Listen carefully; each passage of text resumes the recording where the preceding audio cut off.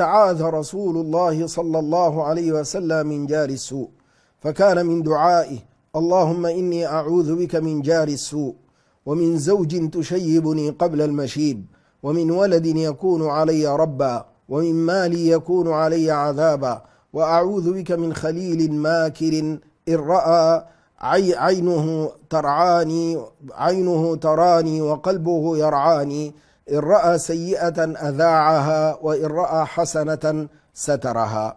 وكان من دعائه اللهم إني أعوذ بك من يوم السوء ومن ليلة السوء ومن ساعة السوء ومن صاحب السوء وأعوذ بك من جار السوء في دار المقامة. جار السوء من نكد الدنيا. فإن نبينا عليه الصلاة والسلام قد أخبرنا أن أربعة من السعادة وهي المرأة الصالحة والجار الصالح والدار الواسعة والمركب الهنيء وأن أربعة من الشقاء وهي الدار الضيقة والمرأة السوء والجار وجار السوء والدابة الشموس.